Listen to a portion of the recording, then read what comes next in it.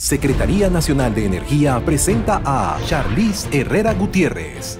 He descubierto que soy responsable del efecto que deseo causar, lo que hace de la sinergia y la escucha activa ser elementos esenciales para llegar a la excelencia educativa, afrontando con perseverancia los desafíos que tenemos en nuestro sistema, donde todos podamos aportar y crecer, ayudando a más estudiantes a alzar su voz. Concurso Nacional de Oratoria, 7 de enero, 6 de la tarde, en cadena de televisión, radio e internet.